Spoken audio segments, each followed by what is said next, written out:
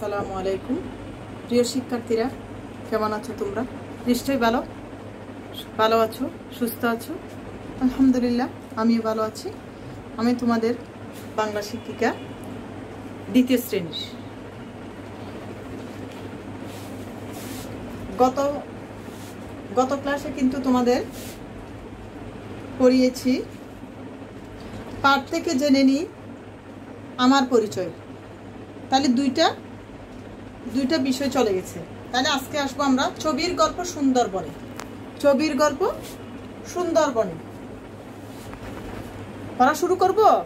তোমরা বই নিছো? বই খাতা নিয়ে বসে পড়েছো? হ্যাঁ? সবাই বসে পড়েছো? আচ্ছা ঠিক আছে, তাইলে বই খাতা নিয়ে খাতা নিয়ে বসে পড়ো। পৃষ্ঠা ছয়। পৃষ্ঠা ছয় উল্টাও। পৃষ্ঠা ছয়। বিসমিল্লাহির রহমানির রহিম। ছবির গল্প, সুন্দরবন। ছবির গল্প। এই যে এখানে ছবি দেখতে পাচ্ছ তোমরা? এই সুন্দরবনের, এই ছবির গল্পগুলো আমরা আজকে আজকে শুনব। ঠিক আছে? আজকে পড়ব এবং মুখে দেখব এবং কি? মুখে মুখে বলব। অমি খুব খুশি, অমি খুব খুশি। অমি অমি হচ্ছে এখানে একটা একটা তিনজন মানুষ দেখতে পারছ। এখানে বাবা, মা একটা ছেলে। ওই ছেলেটার নাম হচ্ছে অমি। অমি খুব খুশি। মা বাবার সাথে বেড়াতে এসেছে সুন্দরবনে। ও মা বাবার সাথে সুন্দরবনে বেড়াতে এসেছে, বেশি খুশি হয়ে গেছে। অর্থাৎ সবাই তো খুশি হয়। সুন্দরবনে শিশু পার্কে গেলে, বেড়াতে গেলে তো সবাই খুশি হয়। তাই অমিত খুশি হয়ে খুশি হয়ে, খুশি হয়েছে। সুন্দরবনে আছে নানা রকম গাছ। সুন্দরবনে দেখতে পারছ তোমরা? সুন্দরবনে নানা রকম গাছ আছে। সুন্দরবনে আছে নানা রঙের পাখি। অনেক পাখি উড়ে উড়ে বেড়াচ্ছে, পাখিগুলো উড়ে বেড়াচ্ছে। নদীতে আছে নানা রকম মাছ। ওখানে নদী আছে, নদীতে আছে নানা রকম মাছ আরও আছে কুমির। আরও আছে কুমির, মাছও আছে, কুমিরও আছে। তারপর দেখো নৌকা বেশে চলেছে। ওরা ওখানে যখন নদীতে গেছে, নৌকা করে বেশে চলেছে বেশে চলেছে। বনে ছুটে চলেছে হরিণের দল। ওখানে ওরা দেখতে পাচ্ছে ওই যে হরিণরা ঘুরে বেড়াচ্ছে। তারপর দেখা যাচ্ছে বনে বানরের সাথে হরিণের খুব বাপ। এখানে দেখতেছে হরিণের সাথে হরিণের সাথে বানরের খুব বাপ। হ্যাঁ বানর গাছের কচি পাতা ছিঁড়ে। ওই যে বানর, দেখতে পারছ? ওই যে কচি পাতাগুলো ছিঁড়ে হরিণকে খেতে দেয়। হরিণ তো নিচে থাকে, উপরে উঠতে পারে না।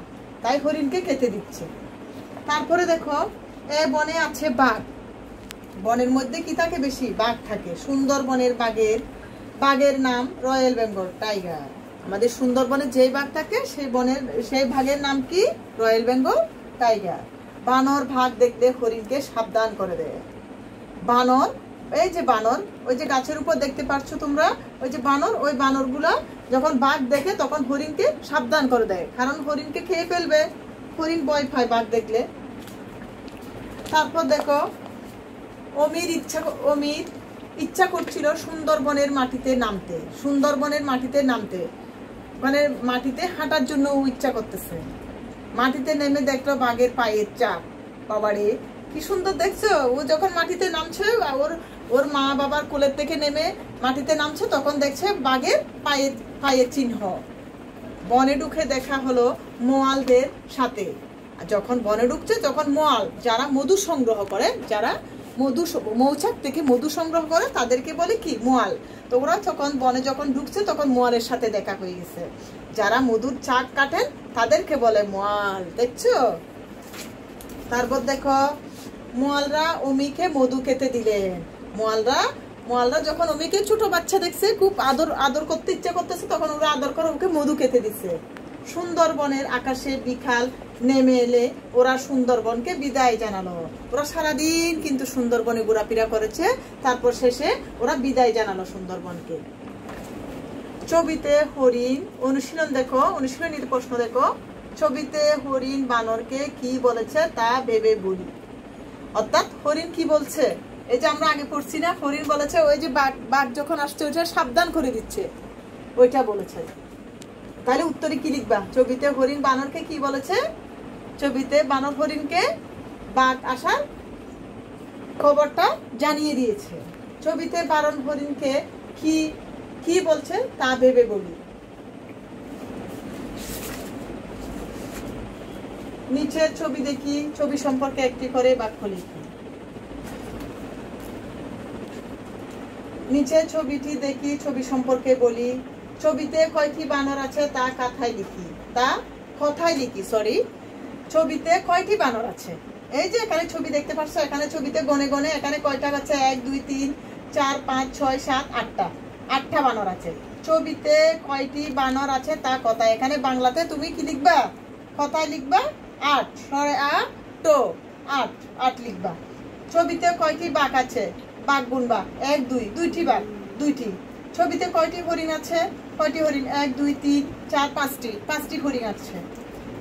পাখা করে নিচের সংখ্যাগুলো কথায় লিখো। এগুলো ভারো কথায় লিখতে পারো? পনেরো, আঠারো, তেইশ, পঁচিশ।